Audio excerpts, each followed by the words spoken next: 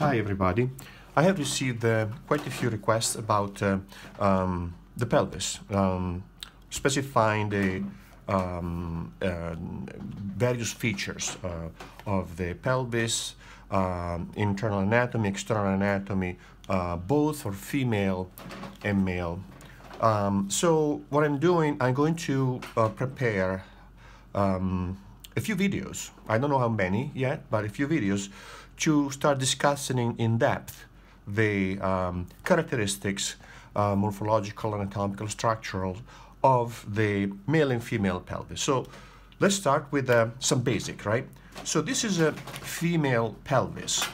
Um, how can we tell? Well, we can tell by um, a couple of uh, a couple of characteristics. One, I would say, we start with this, right? This is called subpubic angle.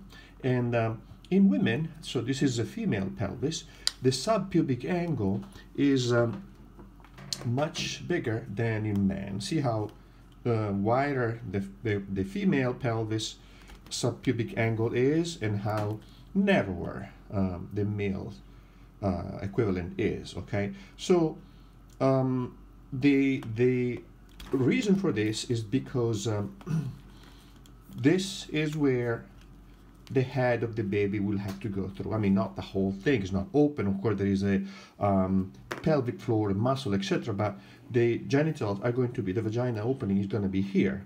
So um, the head of the baby will have to go through this space in here. Just to give you an idea of how um, uh, bigger the space in here, comparing um, male and female pelvis. Let's look at this. This is a you know a tape, the thing this easily fits through, right? Uh, if we look at the um, a male pelvis of equivalent size, uh, in height is the same, uh, we see how this is not even close to go through. It will not go through, right? This is, will not go through. So um, uh, also another um, uh, distinctive characteristic is uh, the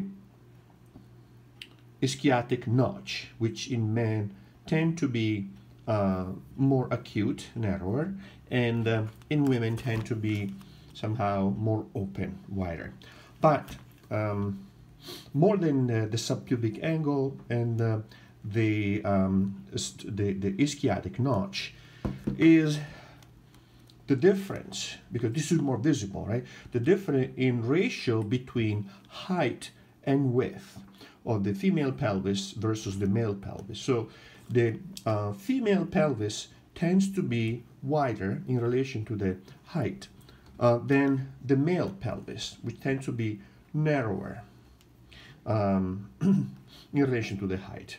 Meaning, if um, we take the height, which is, uh, let's say, give it a value of 1, the width of this uh, is going to be 1 and a quarter, 1 and a little bit. Instead, in women, it's going to be more like one and a third, if not more. Right? So um, let's look at a few more um, um, aspects of the pelvis, right? Um, because um, I want to start from uh, deep inside and gradually move out, right? So um, in the male pelvis, actually female pelvis too, see what I did here? I divided the uh, pelvis in, um, in its three components, which is the pubic bone, the ischiatic bone, and the iliac bone. So um, these three bones, right? So the pubic bone is not just this, right? It's not just this part in here. The pubic bone is made up of the superior ramus, or the pubic bone, inferior ramus, ramus means branch, right, or the pubic bone, and um, they um, the, the, the, the, pubic bone merges with the iliac bone and ischiatic bone at the acetabulum, right? So this is all pubic, this is ischiatic, and this is uh, iliac. So um, the uh, this inferior ramus or the pubic bone connect with ramus of the ischium. So ischium is the bone you sit on, right? Um, so the the um, um, these two uh, ram, rami, ramuses, rami, let's say, um, merge uh, and, and fuse together. And they together they create the ischiopubic ramus. Okay, so this is the pubic symphysis, right? This is the pubic symphysis, the joint between the two, and uh, you see all these tubercules and bumps, etc. These are all for the um, insertion and origin of muscle. Okay, so another distinctive uh, characteristic of the male versus female is um, the um, sacrum. The male tends to be more curved inward, whereas the female sacrum tend to be straighter, all because um, that would uh, increase the lumen, the opening uh, of the of the bottom of the pelvis. So the pelvis can be divided in uh, two parts, the upper pelvis and the lower pelvis. And uh, the division between the upper pelvis and the lower pelvis is at this uh, rim here that is created by the anterior face of the sacrum, the linea arcuata. Uh, there are many linea arcuata in the body. This is one, linea arcuata. And then here, the upper ramus of the pubic bone, and uh, specifically this is uh, where we find the linea pectinea, which is um, uh, where the muscle, the pectineus, attaches here. So um, what we see here is that there is a change of angle between um, this upper portion of the uh, of the pelvis and this lower portion, right? So one and two. And later, I'm gonna show you a way to draw this. Um, um, uh, but for now, just be um, be happy with that, right? So we just uh, don't need to see everything all at once. So um, now the genitals will be here, below here, right, in women. So I want to start um, showing you, as I said, I want to start from the skeleton and then uh, moving uh, moving on. I'm going to start, show, start showing you uh, where the clitoris is in uh, the female uh, female uh, uh, pelvis, right? So, as we have said, this is the subpubic angle, right? Um, which can be summarized or can be demonstrated as in comparison to, to the things like this, right? Whereas the subpubic angle in, in men is more like this, right? So different angle, one wider and one narrower the clitoris, which is which is a pretty interesting structure. It's clitoris not just a little little pea-size uh, structure. It's uh, this is the clitoris, right?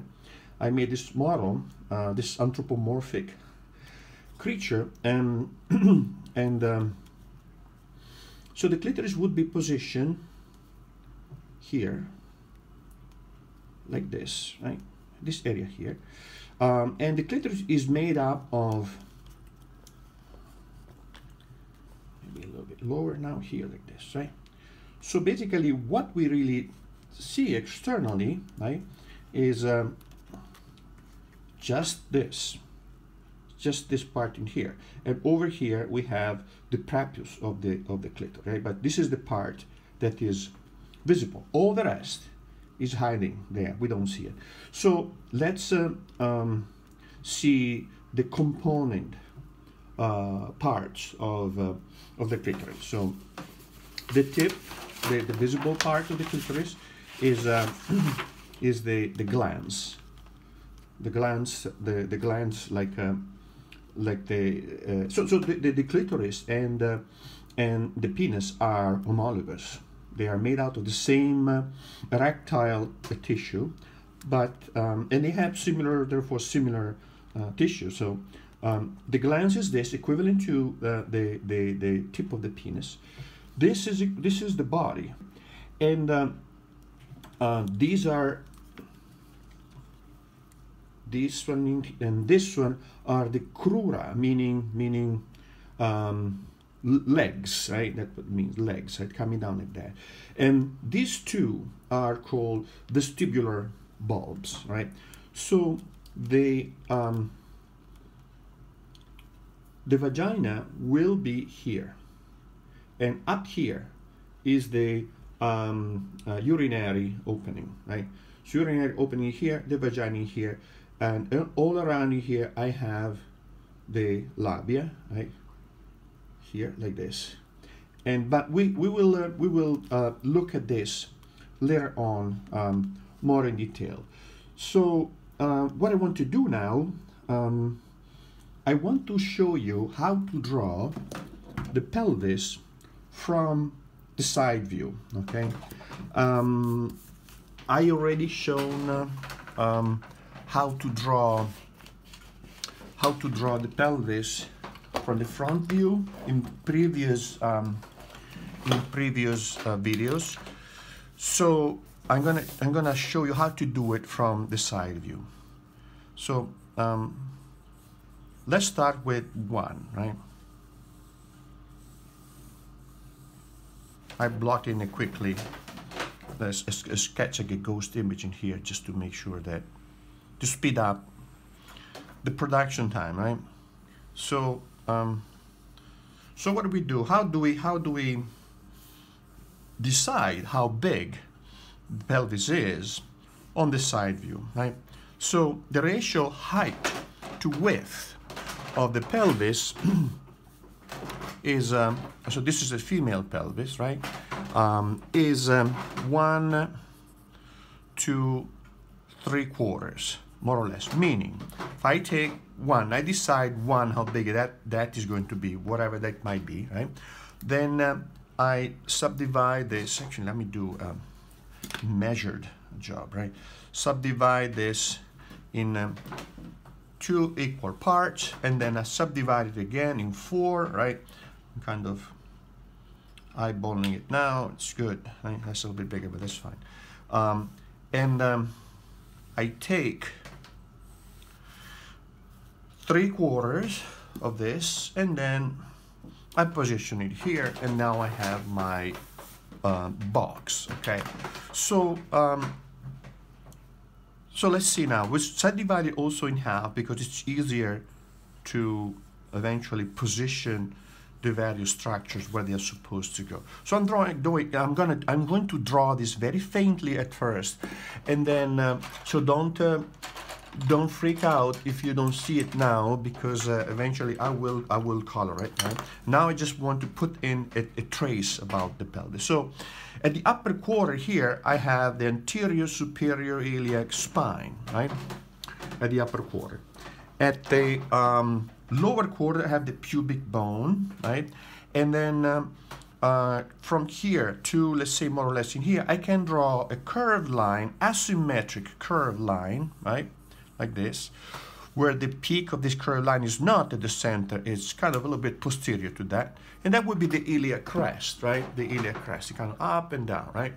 So I'm not going to put in this, the sacrum for now. I just uh, worry about that later on, right? So from here now, I can block in a, a, a curved line coming in like this, aiming for the center in here. So this is going to be a very schematic um, pelvis to begin with, but you know. Um, so down from here, the pubic bone, I go down like this to show the ramus of the pubis. And um, now I have here, position above the line of the pubic bone and to the front of the center line, the line that divides the pelvis in two, I have the acetabulum, the joint where the um, the head of the, of the femur will go. Find the center of this once you establish that, and then do this, one and two, right? Um, so this, from here, from the iliac spine, I have now um, the anterior superior spine, just above, just above the um, acetabulum, I have the anterior inferior iliac spine, and then from here go over like this, create the, the uh, this thickening, right? This thickening here of the, um, you see how it goes this way and that way, and beautiful, right? All these things, you, are not gonna find them in books. I just look them up in the pelvis and then I say, oh, look at that, right? So you can do the same thing. You can find all these references on, uh, on your own, right? Um, it's the way you read, uh, you read the pelvis, right? So now from here, I have now the ischiopubic ramus here, like this, right? And um,